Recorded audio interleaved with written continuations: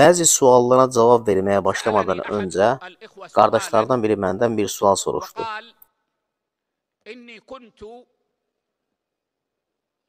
Dedi ki, mən namazda sağ əlin sol əl üzərinə qoyub sinədə bağlanmasını sünnət görürdüm.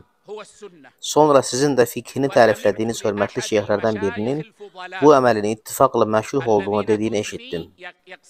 Bu doğrudurmu?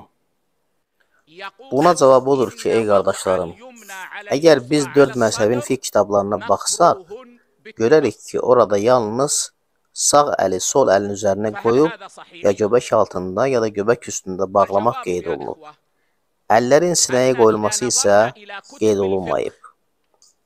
Fiqh elmi ilə məşğul olanlar bəzən elə zənn edir ki, fəqihlər yalnız sağ əli sol əlin üzərinə qoyub ya göbək altında ya da göbək üstündə bağlamaqdan danışıblar.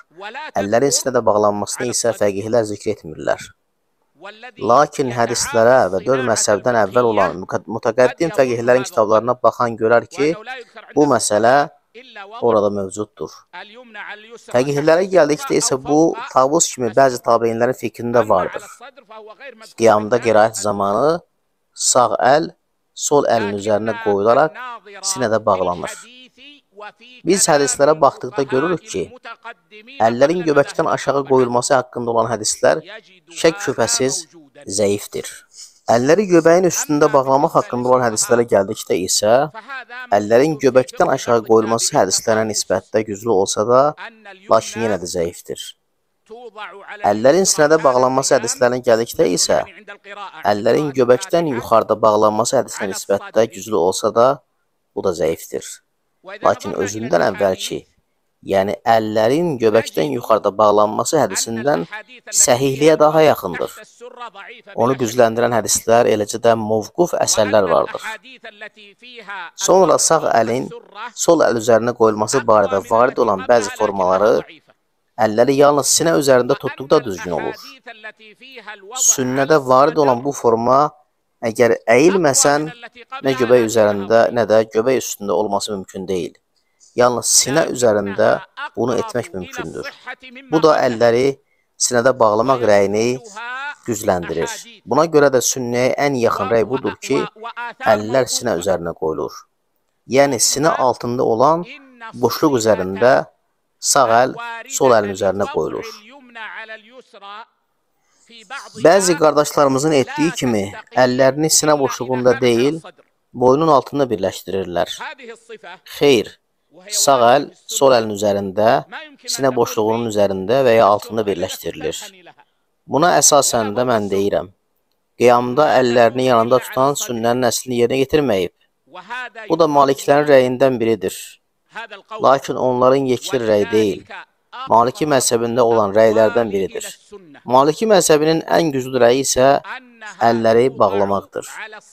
Lakin Xalil öz müxtəsər kitabında əllərin açıq olmasını zikr etdikdən sonra bu rəy Maliki məzhəbində məşhur rəyə çevrildi.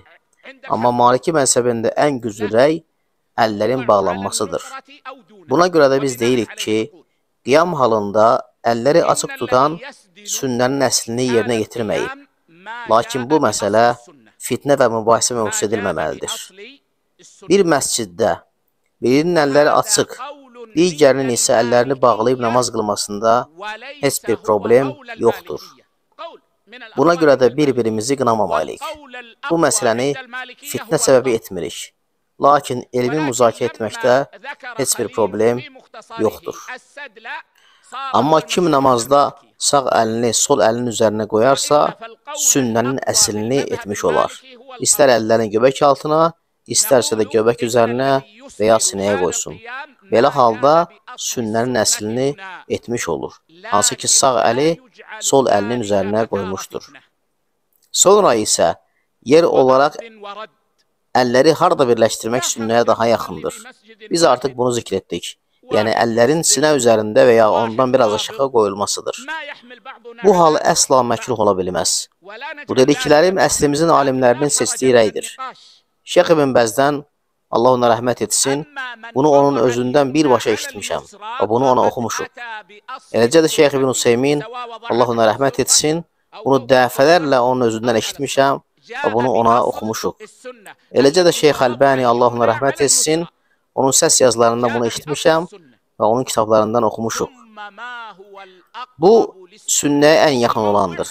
Lakin buna baxmayaraq təqihlərimiz deyir ki, bu məsələni namaz qılanlar arasında fitnə mövzusu etmək olmaz.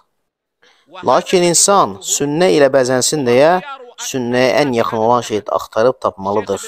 Namazın zeynəti onu Allahın elçisi sallallahu əleyhi və səlləmin qıldığı kimi qılmağındır. Əgər alimlər onun üzərində ittifak ediblərsə, əlhamdülillah. Yox, əgər alimlər olimlar ediblərsə, dəlil ilə sünnəyə ən yaxın olanını tap və onu davamlı şəkildə et xeyirli olan da məsbudur. Dəlil ilə sünnəyə ən yaxın olanını et ومع ذلك فقهاؤنا يقولون لا ينبغي ان تكون هذه المساله مثار افتتان بين المصلين ولكن الانسان يبحث عن أقرب شيء إلى السنة ليتزين به. زينة الصلاة أن تصلي كما صلى رسول الله صلى الله عليه وسلم. فأقرب ما يكون إلزمه. إن اتفق العلماء عليه فالحمد لله. إن اختلف العلماء فانظر إلى الأقرب بالدليل. والزمه. فهذا هو الخير.